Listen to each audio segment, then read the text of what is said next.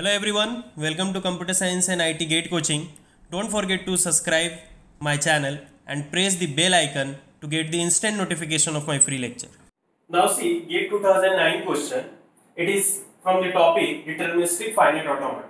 So it is saying that the f of DFA accept the set of all string over 0 comma 1 that so they are asking what is the language accepted by this DFA. So they above accept the set of all string over 0 comma 1. So the sigma is your 0 comma 1. So given four language that A, B, C, D, they are asking what is the language accepted by this DFA, deterministic finite automata.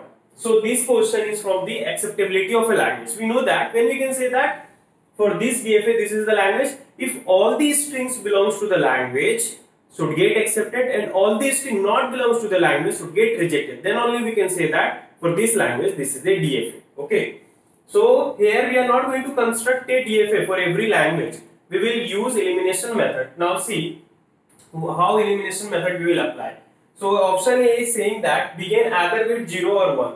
So it is saying that that this is a language which is containing begin either with 0 or 1. Means this language is containing 0, 1 like this.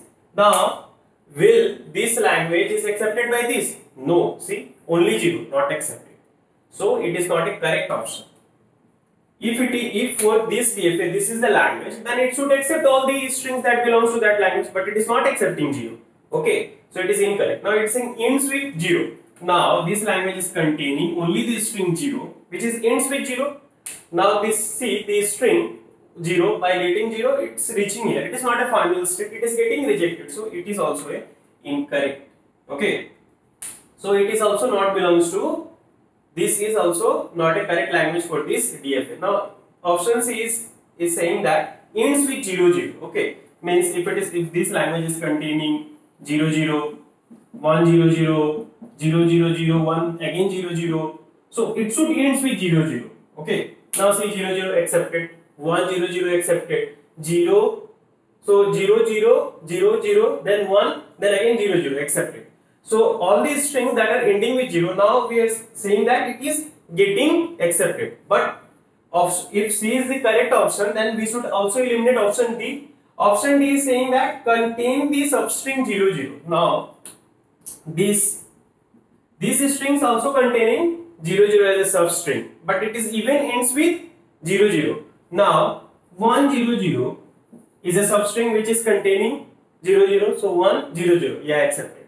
Now 0 0 1 it is also a string. This string belongs to this language it's saying that contains the substring 0 0 this string is containing this string 0 0 0 0 1 if for this language this is a DFA then it should accept it. Now see 0, 0, then 1. It is again coming to the initial state.